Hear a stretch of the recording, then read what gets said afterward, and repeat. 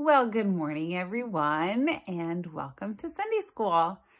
It's kind of funny for me to say good morning because if you can see out my window, it's nighttime, but that's okay because hopefully you're watching this on Sunday morning. And if you are, then we just are so excited to have you join us.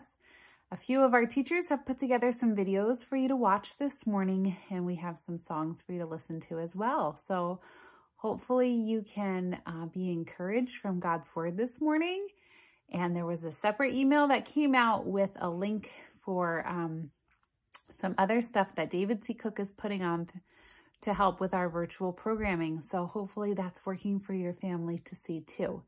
So we're glad to have you with us today. We miss seeing you, but we trust that you are well. And um, if you do end up coming out in person, just give me an email and I can let you know where your kids would be, uh, there's no pressure to come out. We'll keep doing some online things, but um, if you're more curious about what's going on in person, feel free to give me an email. It's sandy at hawthornegospel.org. Well, I hope that you have a great day, and we will talk to you soon. Goodbye.